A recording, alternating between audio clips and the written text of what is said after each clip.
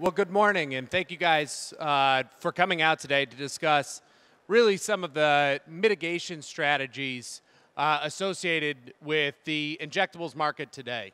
I think, you know, today and the timing that we're at, with the market space itself being littered with, you know, recalls and warning letters associated with foreign particulate, with microbial contamination, and, and really what that is doing you know, to the market from a drug supply standpoint. The industry itself is at a time where we're, we're looking to advance and, and, and looking for different strategies of how do we actually mitigate the risk in aseptic manufacturing. And what are the different things that we can do to really help drive you know, a more reliable supply into the network. And one of those areas that, that we see as a tremendous uh, potential to the market space is leveraging the advanced aseptic manufacturing processing of blow-fill seal. And really what that does and where and how it fits within the market space itself is that the blow-fill seal technology, because we're able to automate the formation and the filling of the container itself, and we're able to offer that level of control, you're driving at the root cause of really what is occurring in the injectables market today. So when you look in, in, in the US today, there has already been in 2015 19 recalls associated with particulates and 20 recalls with microbial contamination. And the fact that this technology is able to start to drive at ways of automation and control it, it really drives at those root causes of the manufacturing challenges that are in the market space today. And that's really where and why we're excited about the advances that, that have been made with the Advasept technology of really looking at different vials, uh, luer lock type containers for ampule replacement, and where and how these things can fit because it does drive at some of those fundamental issues that are occurring in the market. So because we're able to reduce and eliminate really human intervention in your critical fill zones, you're able to you know, drive the, the sterility assurance of the product and ensure that you're, you're, you're providing a sterile product day in and day out. We're able to drastically reduce foreign particulate. Again, where and how the, the material in the container is, is formed and filled, all contained with inside the machine, your exposure to potential particulate is for a matter of about two seconds, you actually have an open vial or an open container. You're eliminating all glass management and management issues of components leading into the system, which then drastically reduces your potential for foreign particulate. And then we'll show data that actually it's not just the potential, you're really driving out particles uh, and, and the potential for foreign part particles to enter the system. Then the other ones are, are different issues around the container closure. So the process does one, but now we're able to start to transition to a glass-free platform. And by doing this, you're uh, able to offer you know, very good chemical stability uh, by utilizing medical grade polypropylene for these types of designs.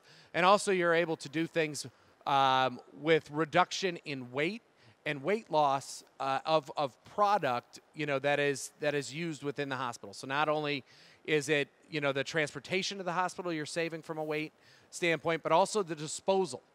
So you're able to gain some of the things even just from a container closure standpoint by leveraging this type of technology. At the end of the day, the, the BFS technology really drives at engineering control, reduction in variability, and then also where and how we understand what are the control parameters within that process. And those are the elements that truly drive out the risk associated with the aseptic manufacturing process. To just give a little highlight of what the BFS technology is, right? So, all contained within this machine, we are able to form, to fill, and seal the product. And you do that all in the matter of about, you know, anywhere between 12 and 15 seconds, depending upon volume and, and you know, container formation and design. And it's this simplicity that really is one of the major drivers of how we're able to reduce variability and how we're able to mitigate the risk associated with filling of aseptic products. So ultimately, the, the, the technology converts raw plastic material. It gets extruded. So we have uh, high temperatures and pressures that allow for the phase transition of the material from going to a solid into a molten plastic resin. Those are formed in what we call parisons. So those are, are tubes of plastic that come down and they enter into the, to the design of the machine. Now, where I truly believe that the innovation lies with the technology is really in this. And so 50 years ago, when the, the founders and the, and the people that you know invented the blow fill seal technology, really in that first stage, they invented what's called the two-stage processing. So what we're trying to do in this process is you're actually forming the body of the container. And in this, where you form the body of the container, you need to keep this top part molten. So that's still hot plastic resin and where and how you're balancing. But the process itself forms the body of the container, and it's a very efficient heat transfer of what's taking place in the container body. So you're able to actually remove a lot of that heat associated with the container and the formation to allow for, you know, really even your thermally sensitive products to be filled within there. But you have to make sure that you maintain this balance in this step because we still need to be able to seal it. So once that body is formed, it moves forward into your filling stations. The filling nozzles come in, and really your filling zone is the, is, is the sacred ground that isn't, you know, uh, you, you, you don't breach. So once that process and that, that system is set up, our sterile boundary isn't breached. So it's a tremendous value because we don't have that human intervention into that, you know, container formation. We fill the product.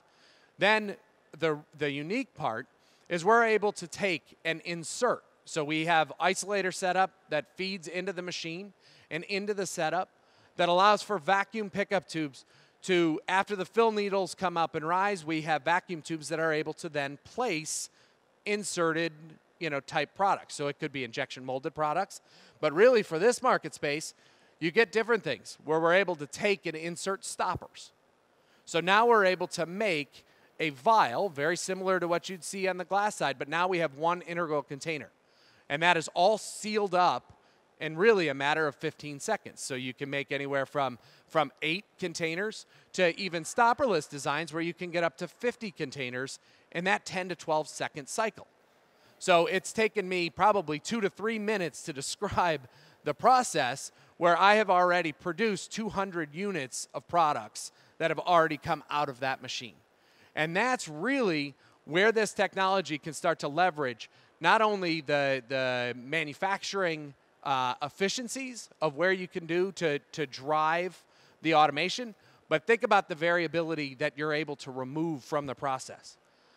So when you look at that and you really start to compare that to traditional glass filling, this is where, again, the minimization of variables, minimization of really of all of your glass management and component management that you have to take place in the upfront.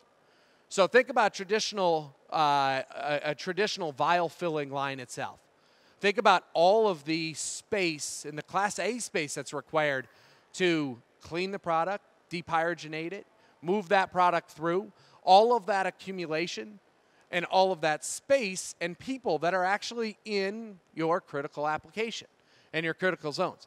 Comparing that to a blow fill seal technology where all of our Class A space is actually contained within the machine. So we're really talking about really about two cubic uh, meters or, uh, of, of, of controlled space that we actually have to maintain. And that's your Class A environment. It is a drastically different approach, and it really drives at the variability and the minimalization and really a lot of the approach to, to, to automate and control our aseptic filling process. And again, we talked about the theory of particulate reduction. Because we don't have products, you know, we don't have containers prior to the process. So we don't have an accumulation center, we don't have an empty vial, we don't have an empty container that's fed into the machine. We actually produce the machine, you know, that we, we produce the containers as we're filling. So you can't separate the two products. And this is where we see the drastic reduction of foreign particulate. So the, the Shabushnig study and where the industry average was basically they were challenging the USP 788 testing and the limits that are in that model. Uh, you know, from a, a above 10 micron and above 10, 25 micron standpoint. So they, they looked across the industry and came up with an industry average. Um, so they looked across 295 different ANDAs that were out in the market space and nearly 400 different lots of material. And they came up with an average of what those were from a particulate standpoint. We then at, at, at we, desi- we designed a, a, a, design of experiment that looked at all the different variables uh, within our process. And we ran around 400 different samples of product as well. And we did an average of what that particle and, and, and, our particle count was.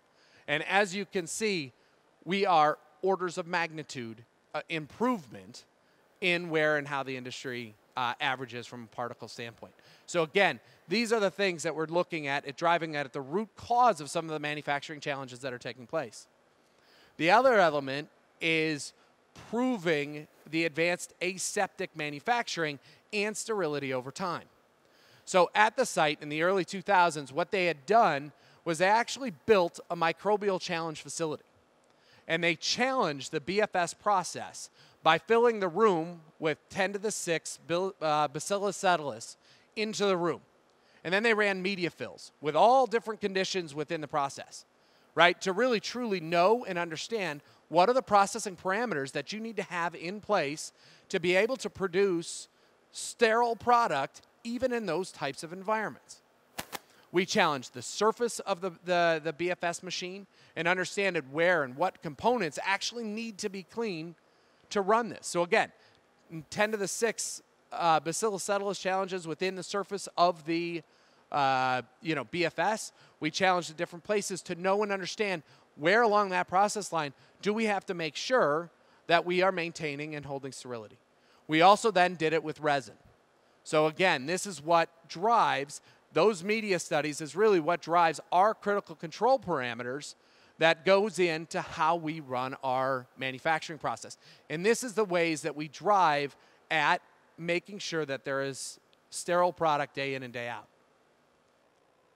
So at the end of the day, when you look at it and really how you drive risk, a lot of the principles behind quality by design was actually embraced before quality by design was ever really talked about. 50 years ago, when they designed this technology, and they designed it in the elements of eliminating human uh, intervention, when they drove in the automation side of it, those were some of the ideas and the concepts on the, on the QBD side before it was ever talked about. Then you add in the elements of process understanding and, and, and product understanding and interaction, and there's where we, we are able to drive out the risks associated with blow seal. Now, what you then are able to do, the other part of this is that we're also creating a new container closure. And those are some of the other things that you need to look at, right? There's opportunity in creating a new container closure. The opportunity to create something that is it, it eliminates the idea of delamination, right? It tr- takes away any of the cleaning and the glass management issues that you have on front.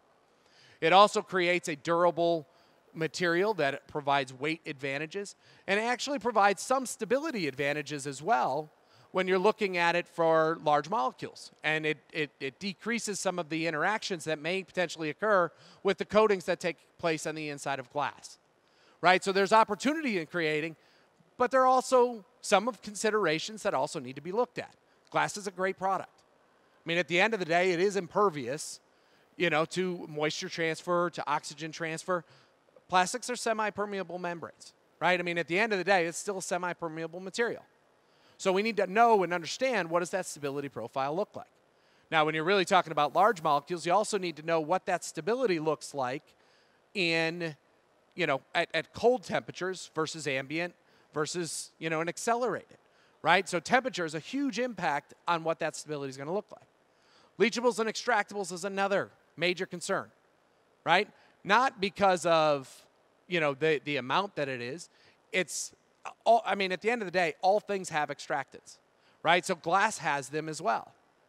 But they're known, they're understood, they're characterized, and people know how to control that, right? Going to something like this is just the unknown. So it's making sure that you have the data sets associated to help with the transition from somebody to go from glass to plastic. You know, and ultimately the, the last part is, is that you have thermal conditions. We are forming the container. It comes out of the extruder at 170 degrees C. So what does that do to a thermally sensitive product? And what are the ways that you need to look at it? And the balance of this presentation is really looking at that container closure and where and how that provides value to the market. So again, from a thermal standpoint, um, this is the one to address. Like I was stating before, that resin coming out of the machine is at about 170 degrees C. The heat transfer process associated is very efficient. The material itself will, the, the, the plastic will cool inside the body of the product in a matter of about two seconds. And it will really take on the, the temperature of the mold itself. And so our molds typically run around 70 degrees C. Because again, we got to be able to keep that balance of making something solid and still be able to have the ability to seal these products up. But what happens within the product is something else. So really you can control the variables of what that incoming material is, so how we keep that product chilled. So again, the, the, the main factors is when that product is being filled, you're, you're, you have a very dynamic cooling space inside there because it's the, the, the temperature of the product that you're filling really has a, a, an impact on the overall temperature that the, the container will see. The other one is container design. So things like wall thickness and surface to volume ratios have a true impact of where and how you'll see. So, so as you can see from this example, the product temperature that really is, is seen on the overall basis, the cold temperature you can affect. So an uncontrolled environment, so if you're running at an ambient uh, you know, material in a very small container with a large wall thickness, you're actually seeing about a 40 degree C peak is what that temperature will be. If we control and you do some of the cooling in the up front with the same container designs, you're at about a 35 degree C. So now if we go and we do larger fills and thinner walls, you can actually bring those temperatures down really close to where you are at, at a room temperature. Really around that 23 to 27 degrees C uh, range is where you can get temperatures uh, to fill, which then allows us to do things uh, in the large molecule space.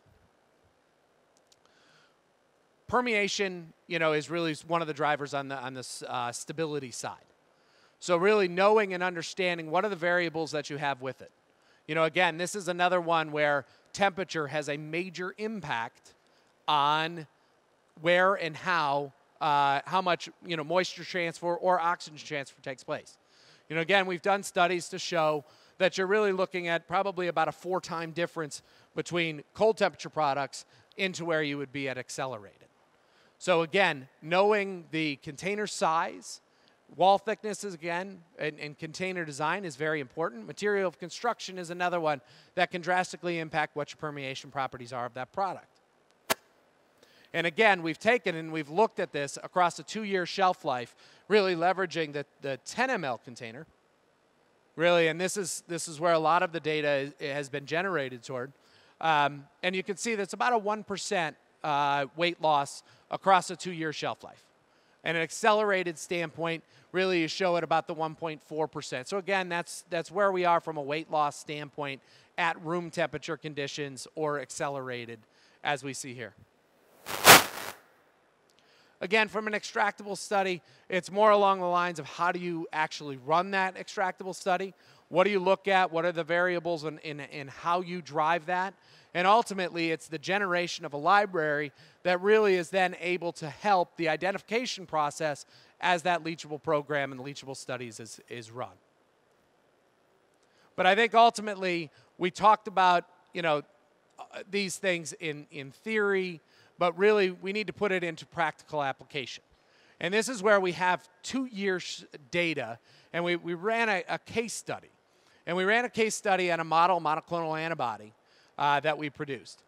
And what we really wanted to do was to show more data associated with large molecule processing in this technology. Now, we have 20 years of experience at the site producing a biologic product.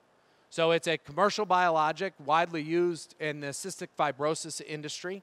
Um, and, and so we, we inherently know systems and controls of what we can do to do uh, to, to make the product work and to make the technology work for these applications. Ultimately, what we're trying at this period of time is to show more definitive data of what this would look like. So we've gone through and we selected a you know commercial monoclonal uh, antibody that's in the market, very similar in dose format and delivery uh, that you would have. So it's the 10 ml uh, you know filled product and and excuse me things that we would have a reference for. And what we wanted to do is look at this from an experiment standpoint, comparing it at time zero. So, does the process itself embark any negativity onto the molecule? So, we did it at a time zero study and looked at it in comparison from the bulk to the Advasept vial. And then, after that was completed, we then took that bulk material and we filled it in glass. And then we ran side by side stability study over the course of two years. And this is the, the case study that we actually ran through. So ultimately, we leveraged the network within the Catalent you know, family to say, okay, well, what types of testing would we have to do? How would we look at it? So we leveraged our, our, our biologics experts, uh, you know, both from an analytical side and a manufacturing side. So our manufacturing site produced us a monoclonal antibody that we then went and filled in our Woodstock facility, and we generated really 16 tests is what we found to give us a good benchmark of what the technology looks like and how it would look. So across those 16 different tests, we then ran at that time zero study. And these results really showed no statistical difference between the bulk API and the filled product. So eliminating really the, the question, did the process do anything negative to that protein? We then took it to the next step. And so we did it as a, a series of progressions and we pulled samples out. We stored the product under you know, uh, storage conditions that the molecule would typically see, so at the 5 degrees C. And we did that in a comparison to the glass.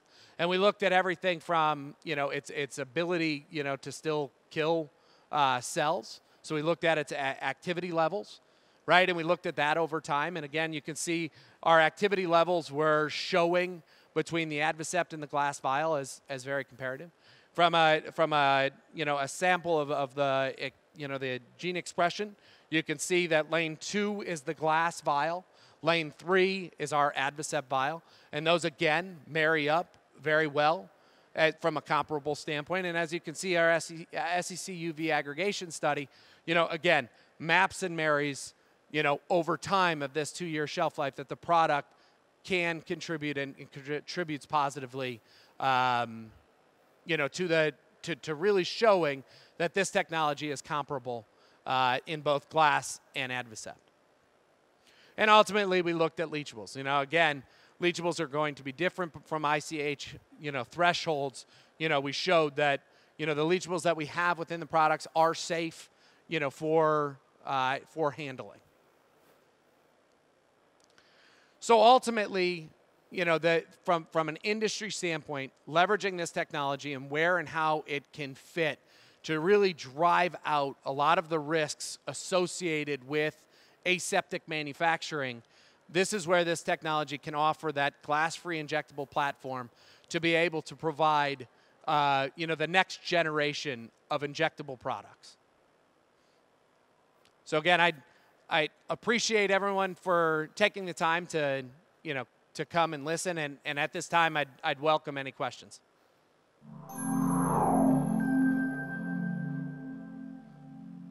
All right, I guess that handled it. I, you know, we do, you know, so if you, you know, later this afternoon, uh, you know, we do have a reception at the Catalent booth, so there will be, you know, uh, cocktails and, you know, uh, some appetizers there. Be happy to to answer or talk about any of the uh, questions that you may have. So thank you again for the attention. Enjoy the rest of the day.